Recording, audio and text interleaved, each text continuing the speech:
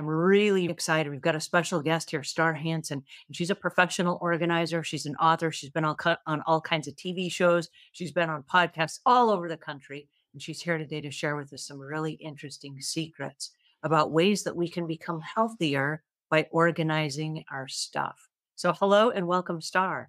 Oh, it's so good to be here with you, Angela. Thanks for having me. One of the things that I've discovered is when you have that conversation, like, what do I need in my shower? Is it the box cutter and is it the spatula and all the things? Once you have that conversation with yourself, one of the things that I've discovered is a lot of the unconscious holdings that we have on things go away.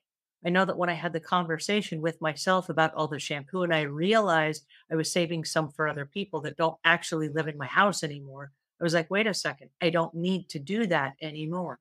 And so all the bottles went away. I ended up using them all. And every time I used them, I was like, yes, I used another one.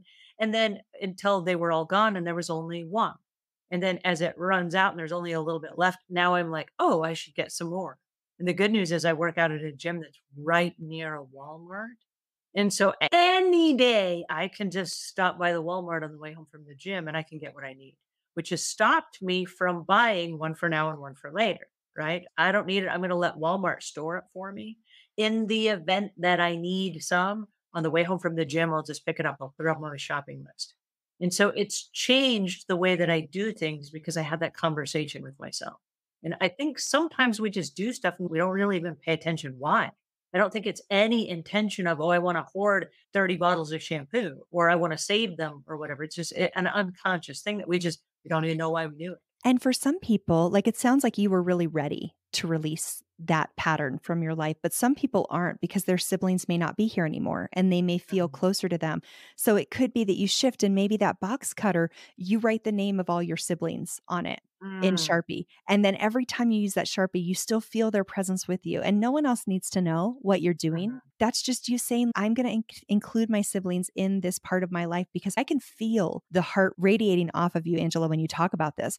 So it's like, how can you include that beautiful connection? Because here's the thing about clutter if we are using clutter to connect or as protection or as a communication, if we stop using clutter in that way, it's only going to manifest in another way unless we get that mm-hmm. need met more directly. So we don't want to abandon your connection with your siblings because you have a lifetime of experience around doing that. So, what are some creative ways where you can feel like there's something so beautiful about 19 kids coming together to look out for each other, to love each other, to give each other the next thing? One of my favorite memories is like having partners who give me the best version of whatever it is. Here's the best salad star. It makes me want to be more generous and it infuses my life with generosity versus the partners that I've had who take the best one and they want the best mm-hmm. one. I'm like, it makes me feel more restrictive, lack, scarcity, a little more stingy. So inviting that energy in, like, how do I include my siblings still? Because that is blissful even though I don't, and I want to do that without 20 bottles of shampoo? That's a really fair question. And to answer your question, how do you continue to love your siblings without the 30 bottles of shampoo? The answer is a Zoom call. Mm-hmm. And hmm. during the pandemic, my family was like everyone else, issued to stay at home. And so we weren't able to see each other. My family is scattered now all across the United States. And so, in order for us to connect, we did the Zoom call. And this is the global awareness. The world in, entirely at once became aware of cameras on computers and a face to face conversation. When we met, and we usually just met once a year for a reunion, and it was a bunch of chaos. Uh, all the kids and all their kids now just kind of running around and you'd start a conversation with somebody and you'd be interrupted by their kids and you never got to finish the conversations or anything what we decided is one Sunday, every Sunday for one hour, we would meet on Zoom. We did this all during the pandemic. And the families would show up. So we got like 10 or 15 screens going on where all the families and all the kids, grandkids are all gathered around the screen and it's face forward. Hmm. So it's not somebody talking behind your shoulder. It's not somebody over in the corner whispering about you. It's everybody face forward for one hour I'm going to give you my best for one hour. And it was always optional. People could come or go. And what the cool part is, if you got a really messy house behind you, you can like blur the screen and you no, can show off with just your face, right? But what it said was, we grew up together, but do we want to be friends now as adults by choice? Do we want to come back together and do we still want a connection? And it was a revolving cast of characters because week after week, Sunday after Sunday, different members of the family would show up. Sometimes it was three people, sometimes it was 15, sometimes it was 10, sometimes it was six. It just, and, and there was never an obligation. But when the pandemic kind of ended, everybody said, Hey, can we still meet on Sundays? So here it is all the years later. And on Sunday, still every single Sunday for one hour, we all meet face to face. And what's really cool about that is nobody has to prove anything. There are no judgments. But if somebody wants to show up authentically who they are, and what's really cool is this we talk about how some of the things trap us and how we haven't worked through them. And so we're hanging on for dear life to the things because it gives us comfort because we haven't resolved some of those issues. In the beginning, and I'll be truthful with you, took about six months, six months of everybody doing, hi, how you doing? Everything's okay. And at the end of the call, I never hung up. I was always the last one on the call, and it was my business account. So I, I was the first to sign on and the last to leave. But I always hung on. And if there was somebody that was still on the call, I say, Is there anything I forgot to ask or anything that you want to share? We started having some deeper conversations. Sometimes two or three people would kind of linger and they would hang on after the call was technically over and we stopped the recording because we recorded it for family members that wanted to watch.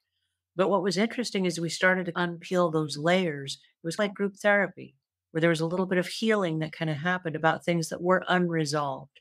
And as we started to resolve some of those issues, other things in the background of our lives started to heal themselves.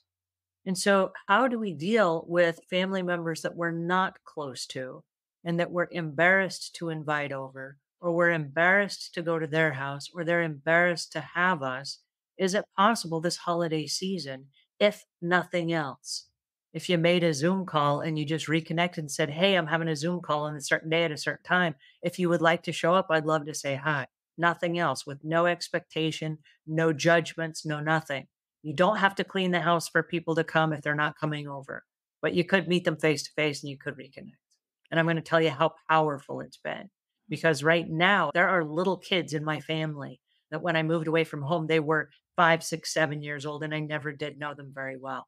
And now, as adults, some of us are working together. Some of us have podcasts together. Some of us have reconnected as adults because we are now friends by choice. Yes, we're related, but we are friends by choice. That's beautiful. So beautiful. Thank you for sharing that. Oh, this has been an amazing conversation. I want to say thanks so much. But in closing, Star, will you tell our listeners where they can go to find you? Absolutely. One of the places that I've created for you is to go to starrhansen.com forward slash podcast.